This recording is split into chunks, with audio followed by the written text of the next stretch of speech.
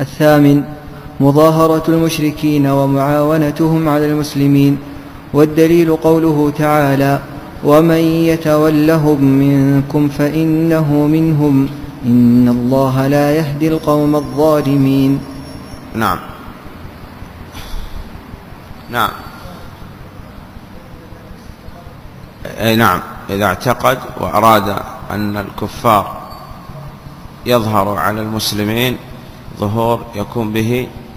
ها نعم. تقوية شوكة الكفار نعم على المسلمين. فإذا اعتقد هذا كفر نعم.